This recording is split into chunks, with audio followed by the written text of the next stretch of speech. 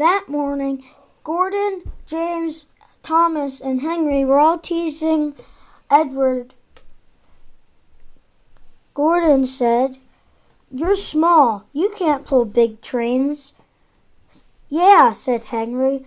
You're not strong. You're small. Edward was sad.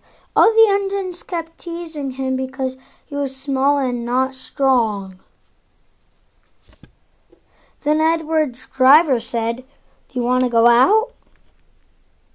Yes, please, Edward responded. Edward puffed out onto the turntable.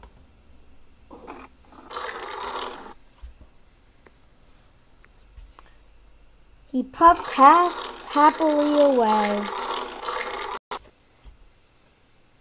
Finally, the station master waved Edward down to depart. Edward was happy. All the engine, other engines were stuck in the shed. Edward felt very special. Edward passed through the docks.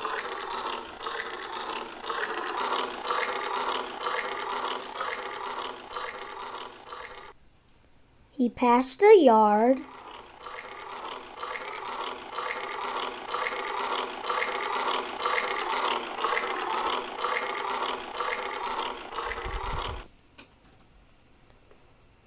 Later on, he almost arrived at the station.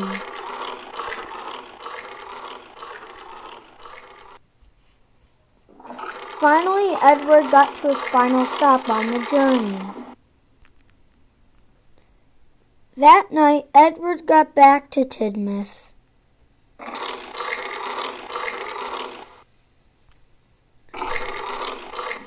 I'm going out tomorrow, he told the other engines.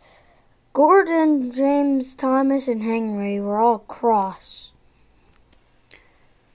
The next day, Gordon puffed out of the shed. I'll show you.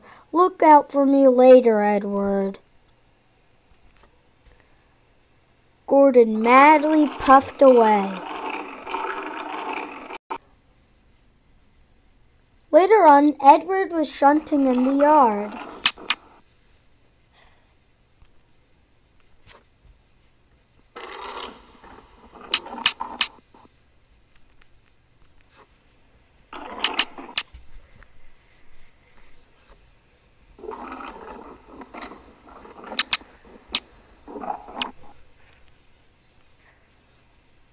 When Edward finished shunting, he heard Gordon saying,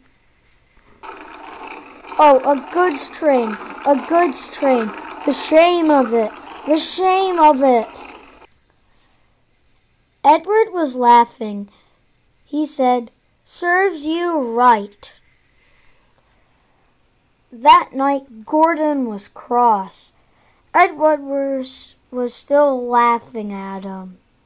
Serves you right, he kept saying. The next day, all the engines made up. Gordon, James, Thomas, Henry stopped teasing Edward. Gordon said, You don't have to be strong to pull a train.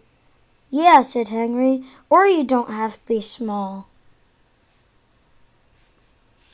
They all made up and became friends once again.